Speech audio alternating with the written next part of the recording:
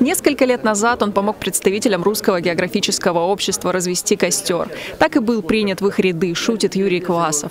В начале нулевых он начал сажать деревья в ямы, которые остались после добычи древесного угля в Локтевском районе.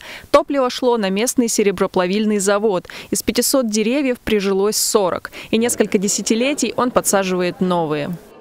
На сегодняшний момент у меня уже больше пяти тысяч высажено. Там семь пород деревьев. Вот большинство них сосны, как наиболее неприхотливые. И как-то нас все рубят, а я, я поперечно я наоборот буду садить. Это во-первых. А во-вторых, одно из главных предназначений человека – совершенствовать среду обитания – в этом году Краевое отделение Русского географического общества отмечает 120-летие. Сейчас под его флагом больше 300 неравнодушных. А сколько их было за всю историю, неизвестно. Но одного из ярких представителей РГО сегодня вспоминают особенно. Некогда председатель Бийского отделения общества Михаил Розен в этом году тоже бы отметил 120 лет. Имя, э, ради которого мы сегодня объединились, оно связано с Михаилом Федоровичем Розеном человеком очень непростой судьбы, но э, человеком, который сумел преодолеть все трудности и сложности своей жизни и заложить фундамент во многим направлениям исследований на Алтае.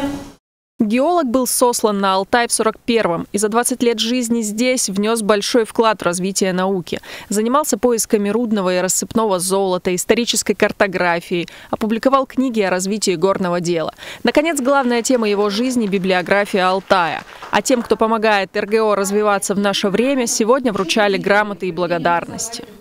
Как вы думаете, какие задачи прежде всего стоят перед Русским географическим обществом на данный момент?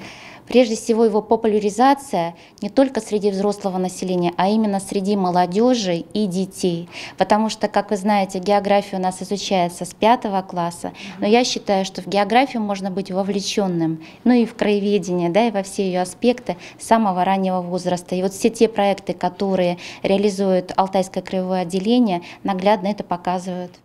Алтайский 360, сибирскими маршрутами Достоевского, белые пятна чарышских подземелий. Общество много проектов, которые открывают Алтайский край и гостям, и его жителям.